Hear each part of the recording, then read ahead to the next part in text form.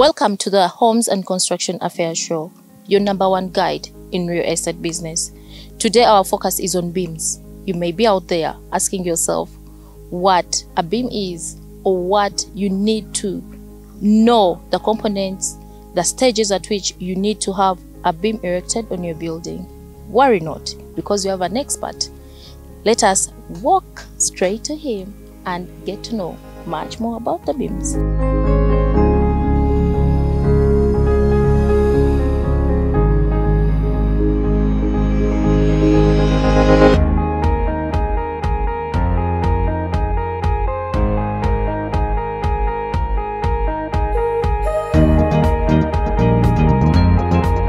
Talk about beams, we refer to that uh, horizontal reinforced member that runs across and along the wall uh, to with the purpose of bracing and actually bringing the building together. Reinforced in the uh, in the appropriate proportions of concrete, then it becomes a beam to serve the purpose of bracing and bringing the, the, the building all together. It has to be horizontal member. Do we have different types of beams? Yes, of course, you actually have different types of beams depending on the area of application. You will find that we have continuous beams, we have T beams, we have uh, cantilevered beams. So depending on the area where you want to apply the beam. Now, when you say depending on the area we want to apply them, The areas of applicability actually are, uh, are as follows. First of all, when you look at the foundation, we have a foundation beam. As, I, as I've told you earlier on, that uh, a reinforced beam has the purpose of uh, adding extra strength to the area where it is applied. So when you talk about a foundation beam, it, it is also applied there to actually to add some more strength to the foundation so that we avoid foundation collapses and uh, crackings. So that is one area of application, foundation beam. Now we have a ring beam, like for this structure in the background. We are going to apply a ring beam. Still, the purpose is to hold the building together such that walls don't fall apart. And then from that, we, we, when you talk, when you come to building to, to slabs, we also have slab beams that we, that we apply to reinforce the slabs such that they don't crack. So the, you, you find that beams are literally, the types of beams are literally uh, depend on the area of application. Okay, but a beam remains the same. Horizontal member reinforced in appropriate uh, proportions of the the constituents of concrete. does that mean that the area of applicability determines the type of beam? Exactly, because we, when I'm dealing with the foundation, of course, now I will be talking about a foundation beam. When you're talking about now this stage of uh, a house after the the, the, the window heights, we talk about a ring beam. So we don't want people to have it twisted when someone talks about a beam. We ask when they mention the type of beam, we'll be able to know the stage of construction at which they are. If someone talks about a ring beam, just know the stage. When they talk about a foundation beam, of course you'll be able to know. If if you hear terms like slab beams, then you know that now they're at that stage of shuttering and it is a storied building in most cases. And then the other uh, the, the- the other terminologies that you can use for beams, uh, they come as a result of the shapes that the beams actually take. Like we have mentioned earlier on, we have talked about the T beams. There are uh, cases where you find that a beam takes a T shape. More so when you want to reinforce uh, large spans in buildings, you may take you, you, you and you don't want a column beneath, so a beam may take a T shape and it becomes a T beam. And then we have talked about a cantilevered beam. So this one comes mostly about the authentic so beauty. Some clients prefer not to have columns to support the extreme ends of beams, and then they decide to have them as cantilevers. That means the beam, at the look to it, it will look as if it is hanging in balance, but if it is well reinforced and it's strong enough, it comes with uh, that extra uh, touch of authentics and uh, yes. So act- actually, that's how uh, we, we can classify beams depending uh, on the shapes that they have taken and then the areas of applicability. Yes. Apparently, we are now going to look at the ring beams because this has been the song of the day when it comes to construction. At what point do a home, does a homeowner require to have a ring beam or start thinking about having a ring beam? Okay, thank you very much. So a ring beam, we start uh, to to to to place or to organize for a ring beam when we reach this stage of the final window heights. I would say, because uh, we, you will find that all windows, window openings, actually have that uh, final height stage. So the ring beam has to span over the final window heights. Okay, the the window level and the door opening level, the, the final heights. Take for example, uh, you measure from the from the from the end of the foundation or from the end of the plinth wall. Okay, the damp proof course. Uh, if my door opening is going to be uh, 2.4 meters, something uh, like uh, 8 feet high. So once I achieve that maximum door height that I need, that means the next stage will be a ring beam. So that is briefly how I can explain the stage at which a ring beam comes in in construction. Must all buildings have ring beams? Yes, of course, every building must have a ring beam uh, because of the following reasons. First of all, a ring beam uh, uh, brings the building all together. The walls cannot fall apart. As the term goes, ring beam, that means it forms a ring uh, along the across the perimeter of the building. So that is one pass. That is one uh, purpose for a ring beam to bring the building together, and then the other purpose is to transmit loads, because you know uh, we have different loads above the beam, the the subsequent brickwork, And, the roof structure. Sometimes we apply beams to add some extra beauty to the building if the beams are well finished. There's some uh, finishing that we apply to show the beam lining and everything. So those are the main main purposes of uh, beams, the uh, the ring beams on building structures. so let us talk about the size of the beam. How big should a ring beam be? Okay, thank you very much. So, when you're sizing a ring beam, first of all, you have to put into consideration the size of the bricks or blocks that you're using for walling. It has to align with the, the, the thickness of the walls, and then the height. The height uh, of the beam, that is, uh, uh, let me say, the depth of the beam. Okay. It also, it also have to be. It also has to be in line with the the height of the brickwork that you're using because it has it, it- should not be uh, even taller than that thing that So big. it can't be uh, taller than the brick. exactly. It shouldn't exceed the height of the brick. Because in most cases you, you will find that uh, we we have stepped like take for example if uh, there are rental units okay they are similar rental units and they have uh, they are stepped okay so if It's the way they- Uh-huh. So, so in most cases, you find that those steps are actually uh, in line with the, the, the height, the standard height of the blocks. So, if you have a different height of beam, you may find hard time to align with the subsequent structure. So, you have to, to put into consideration all those parameters when you're sizing the heights of the beam. But of course, you have bare minimums. So, I will talk about uh, the minimum of uh, five inches so it shouldn't be less than five inches in height. Then the, the, the width will be determined by the thickness of the brick or block that you used for walling. So how is it with a storage building? Okay, so in such cases, uh, it is actually the structural drawings. Okay, they are actually the engineering drawings that dictate the sizes of the beams. So we have that that happens mostly in storage buildings.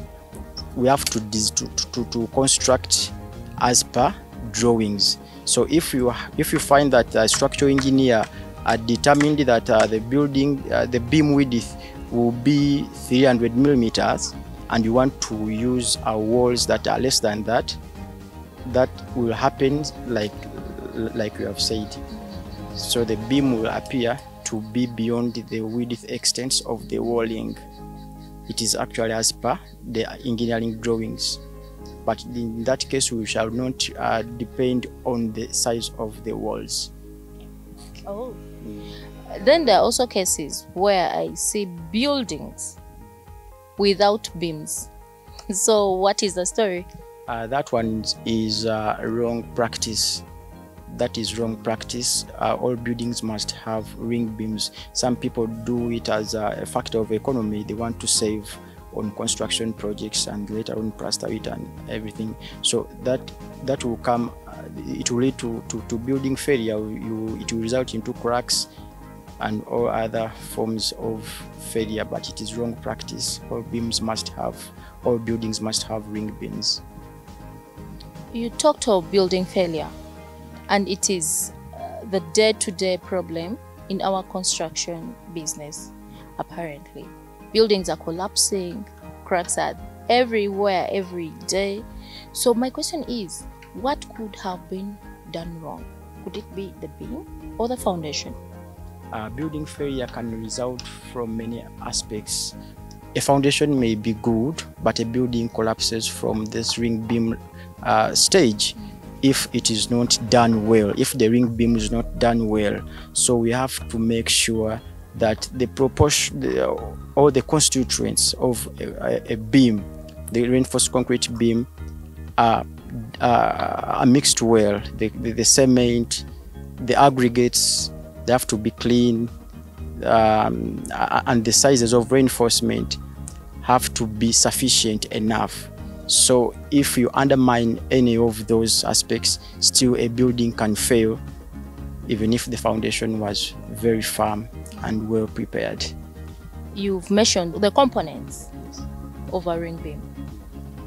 And I request that you briefly tell us what a ring beam must consist. Thank you very much. First of all, uh, as we have said, it is a reinforced uh, concrete beam. Uh, that means it has it- consists of uh, uh, cement.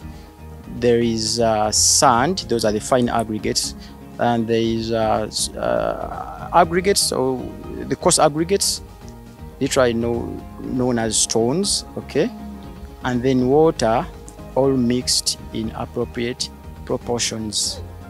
Yes and and- uh, and and the, the, the reinforcements the steel So at when do they when are they used? Because we also know required to have a ring beam. exactly. So uh, of course we are talking about a reinforced beam as i've told you. So when you when you hear about the word reinforcement just know that we it has to constitute to, to, to have steel in it. Because reinforcement is like giving that extra strength to a beam and we can only achieve that by adding steel into the concrete. Okay? So we are going to have steel in this ring beam. Definitely. What is the size of uh, steel that should be used in a ring? Uh, for, for for such a building we are going to use size 12 t12 steel they're going to be t12 steel uh, being held uh, four in a ring. Uh, may I know why you chose to use size T 12 t12 instead of maybe like T10 or something with a grammage which is higher than T12? Uh, okay, of course, so uh, we, we, we look at uh, the loads that we're going to hold above this beam. This one being uh, a bungalow house, we don't have much loads above it. So if I if I if I went for T, T16, it, will, it it would have been an over design. Okay, and if I'd gone beyond T12, still it would be an under design. So T12 actually is the uh, uh, is the best I, I, I can say. So the best choice for this uh, simple bungalow house for reinforced ring beam members. Now, what is the cost of having a beam for a homeowner who is there, for a person who is planning to have a roof on their head?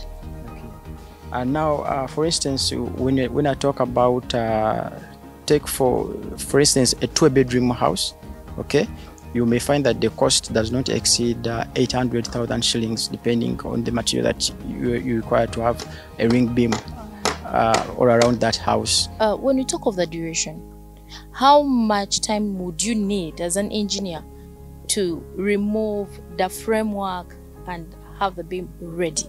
Okay, now as we know that uh, reinforced concrete uh, cures or gains maximum strength uh, after a period of seven uh, 27 days thereabout. So uh, exactly. That's basically a month. yes but uh, we, but in real practice when when it comes to to, uh, to to our people here in Uganda constructing bungalow houses you may find that they remove the formwork even before 27 days. So I would advise them to keep the beams enclosed in formwork before they actually dismantle the formwork such that the beam gains uh, maximum strength before it is exposed to the to, to, the outside weather.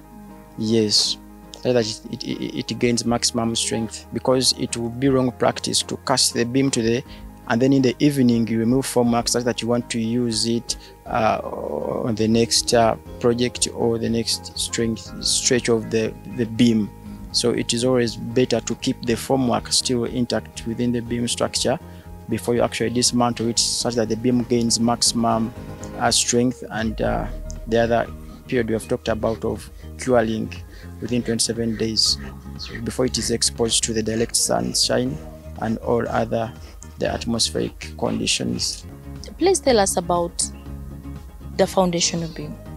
Okay, so now the foundation beam uh, is this lateral reinforced concrete structure that comes on top of the foundation walls or the plinth wallings.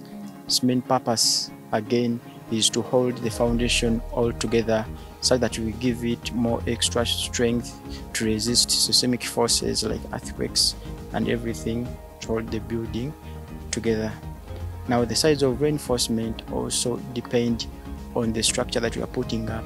If it is a sturdy structure, the size of reinforcement in a foundation beam will entirely depend on the detailed structure drawings. But if it is a story, but if it is a bungalow house, the low-rise houses, uh, the size of reinforcement will be.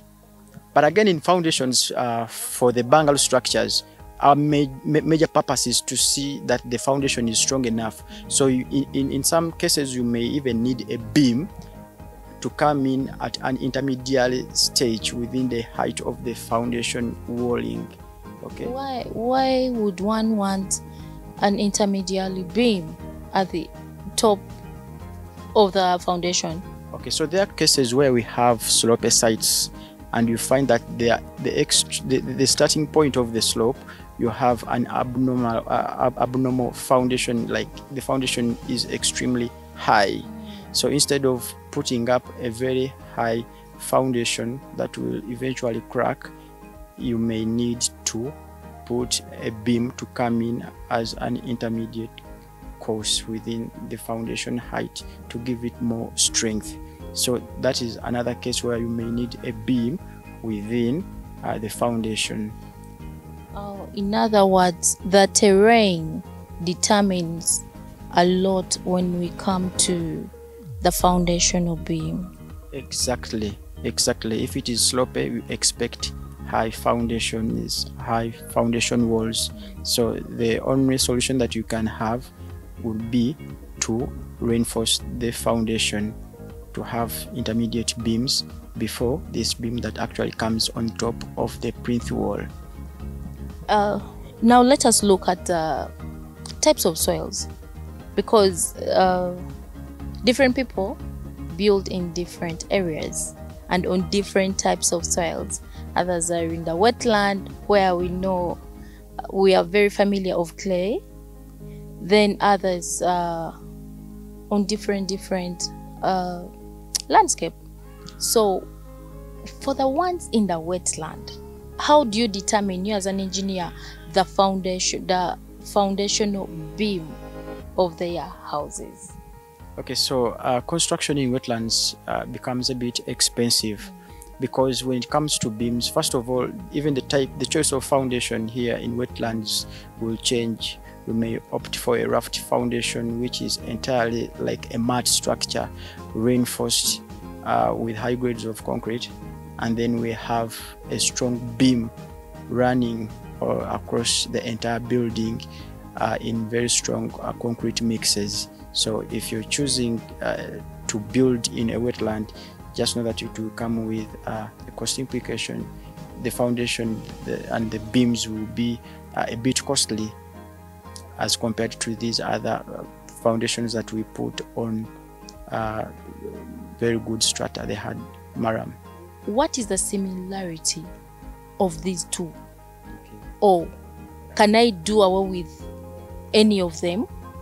Uh, uh, of course, uh, the similarity is that the first of all they, they all serve uh, the purpose of uh, of bringing those components together, like bringing the walls. Okay, if it's the foundation beam, it will bring the foundation walls together so that they don't fall apart. The same applies to to the ring beam. So I wouldn't advise you to do away with any of those. They are very important aspects of the building. Very very important. I wouldn't advise you to do away with any of them. I would encourage our viewers to make sure that uh, they don't do away with any important aspects of the building. As we have discussed make sure that you have a ring beam. Make sure that you have uh, a foundation beam and comply with all the building regulations to avoid building failures. Today, we have looked at beams, and this is a site where you can see that we have reached the stage of having a ring beam put together to this house. And we have learned that a ring beam puts together the walls, giving them that strength to extent that even when an earthquake comes, you are safe, you and your people. So let us avoid accidents let us avoid making those simple, simple mistakes in construction because we are here. This is the Homes and Construction Show. My name is Hilda Kamkama. From me and my entire crew, we say, may God bless you.